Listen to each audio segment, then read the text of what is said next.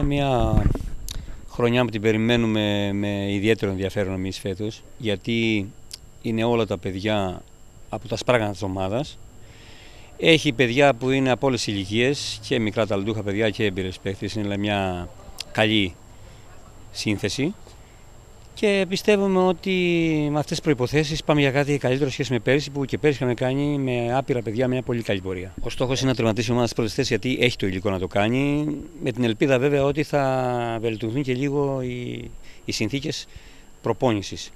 Πιστεύω οι αρμόδιοι να το ακούσουν και να κάνουν κάτι σε αυτό γιατί δεν είναι μόνο η άθληση, είναι και η γέοι που έχει δικά της παιδιά για αυτή η ομάδα, αξιόμαχα, πηγαίνουν πολύ καλά και αξίζει μια βοήθεια το Ιραγιώτικο βόλεϊ. Ναι, είναι σωστό και καλό και θεμητό από παίκτριες εφόσον υπάρχει το δυναμικό ε, να θέτουμε υψηλότερους στόχους κάθε χρονιά και με προπόνηση και δουλειά να προσπαθούμε να τους πετύχουμε και είμαστε πολύ χαρούμενοι που φέτος έχουμε αυτή την ευκαιρία και πάμε να κατακτήσουμε μία από τις πρώτες θέσεις στην Α2 γυναικών.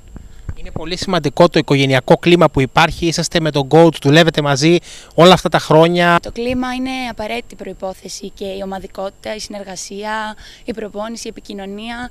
Εκτός από προπονήσεις, μαζευόμαστε με τα κορίτσια και εκτός και προσπαθούμε να μιλήσουμε μία με την άλλη, να γνωριζόμαστε καλύτερα.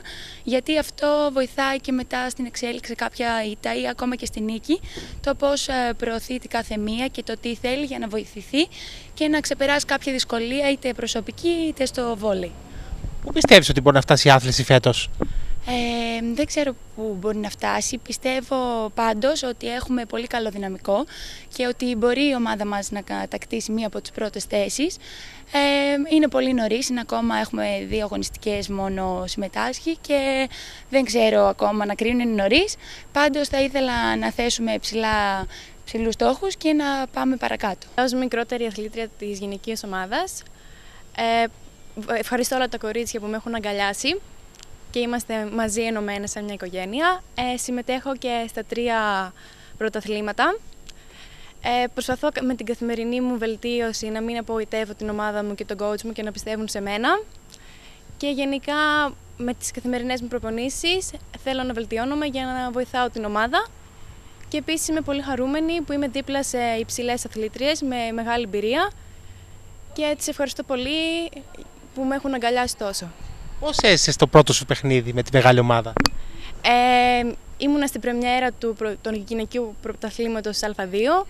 Ε, ένιωσα πάρα πολύ ωραία γιατί μετά από τόσα χρόνια, τόσο κόπο, το όνειρό μου γίνει πραγματικότητα και θα προσπαθώ καθημερινά για να μην απογοητεύω τον coach μου και να, και να μου δοθούν και άλλες ευκαιρίες τέτοιες. Ήδη θεωρείς ότι έχεις πάρει τις κατάλληλες οδηγίες, τις συμβουλές που θα σε βοηθήσουν και στη συνέχεια της καριέρας σου από τον coach, έτσι; Ναι, και προσπαθώ να μην τον απογοητεύω. Πού πιστεύεις ότι μπορεί να φτάσει η άθληση, έστω και πιο μικρή, σίγουρα πιστεύεις και εσύ στους στόχους της ομάδας, στους υψηλούς. Ναι, φυσικά και πιστεύω και μέσω των προπονήσεων που βλέπω όλα τα κορίτσια πιστεύω ότι θα φτάσουμε υψηλά γιατί είμαστε μια δυνατή και ενωμένη ομάδα. Σε ένα σχόλιο για την παρουσία του Όφη στην Α1 κατηγορία των ανδρών είναι ιδιαίτερα τιμητικό για εσάς που αγαπάτε αυτό το άθλημα. Είναι γεγονός εξαιρετικής σημασίας να βλέπουμε όλες τις μεγάλες ομάδες και τα μεγάλα σαλόνια του βόλεϊ μπροστά μας σε ένα γήπεδο του Ηρακλείου. Έχουμε στον Όφη να τα καταφέρει, να μείνει, να κάνει μια καλή πορεία να έχουμε και εμείς την ευκαιρία για τα νέα παιδιά να βλέπουν βόλιο υψηλού επίπεδου, που αυτό είναι μια νοερή προπόνηση και ένα κίνητρο για τα παιδιά να πλαισιώσουν τις ομάδες τους και να βελτιωθούν ακόμα καλύτερα.